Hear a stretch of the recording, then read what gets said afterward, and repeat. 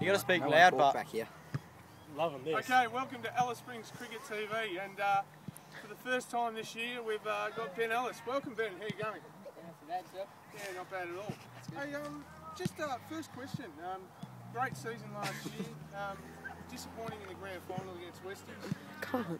But uh, mid-year, mid-year coming up. Um, what are your hopes for mid-year? Where do you where do you see yourself being?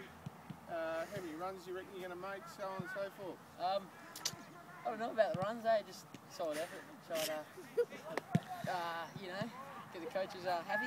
Keep the, keep the coaches uh, happy.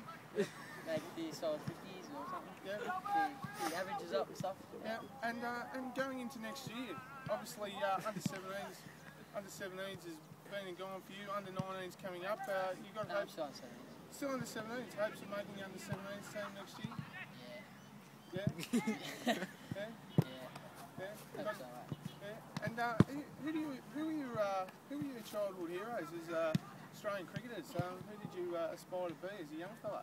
Um, as a young fella, probably no one. But um, as I got a bit older, Shane Watson. Shane Watson. He's a good one. He's, uh, he's popped up in the Aussie team, so he's doing alright. So. Yeah. And uh, last question, mate. Um, good team. Um, mid-year coming up.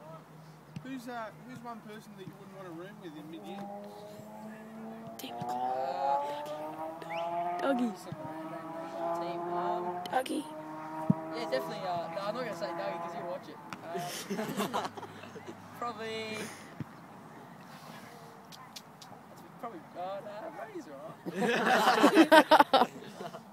no way. Probably Nico. Yes, I win. Probably Nick White. Nick White. Nick White's been popular. No, actually, yeah, he, no, he'd be my favourite. I'm, I'm, Nick White's good.